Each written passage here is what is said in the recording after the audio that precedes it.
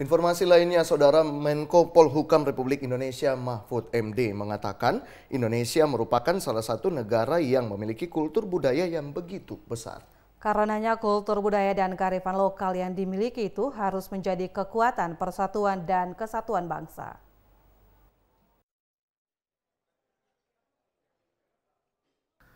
Indonesia yang terdiri dari 17.000 lebih pulau dengan ragam budaya dan bahasa menjadi salah satu kekuatan bagi keutuhan negara kesatuan Republik Indonesia.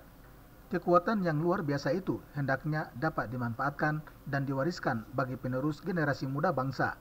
Hal tersebut disampaikan Menteri Politik Hukum dan Keamanan Mahfud MD saat silaturahmi bersama dengan jajaran Porkopinda dan tokoh agama serta tokoh masyarakat yang digelar semalam di Ambon. Menteri Politik Hukum dan Keamanan Profesor Dr. Mahfud MD mengatakan sejarah kemerdekaan Indonesia memiliki nilai historis yang diperjuangkan sendiri oleh seluruh anak bangsa, bukan pemberian penjajah. Karenanya Menko Polhukam mendorong anak bangsa yang ada di daerah ini untuk sama-sama memberikan kontribusi positif untuk mengisi kemerdekaan. Satu di antaranya melalui penguatan paham kebangsaan dalam bingkai negara kesatuan Republik Indonesia. Indonesia emas itu artinya Indonesia yang merdeka. Bersatu berdaulat adil dan makmur. Bersatu di dalam apa geopolitik. Yang wilayahnya ada 1340 pulau di Maluku dan keseluruhannya di seluruh Indonesia itu 17.504 pulau Indonesia ini 16.100 sudah terdaftar nama dan tempatnya di PBB. Sisanya 1.400 pulau itu belum.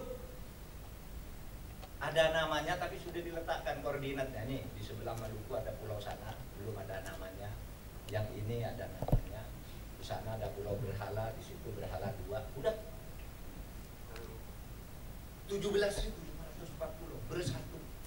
Bayangkan 267 jiwa bersatu. Mengapa itu? Mengapa? Masuk yang kedua, yang bagian bawah itu tiga. Itu bisa terbangun karena kita mempunyai kesadaran membangun geopolitik Bhinneka Tunggal Ika.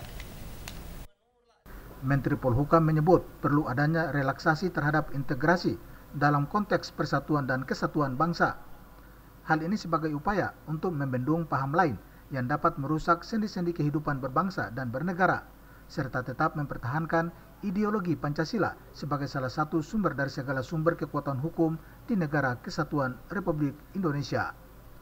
Abu Sabawa, Lamarunga, melaporkan.